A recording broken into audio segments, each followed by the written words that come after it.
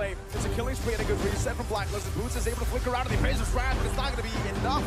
He dies instead. Didn't even pop the split split. Now Kairi's next on the chopping block as they engage on four rows, but no red. Wait, wait, wait, What? What? What? Wait, wait, wait, wait, wait. Whoa! No way! He's able to escape Sanz with a real world manipulation. Wise dives in under the turn. I'm not too sure about this plays right now. How did Kai get no? Venus opens it up.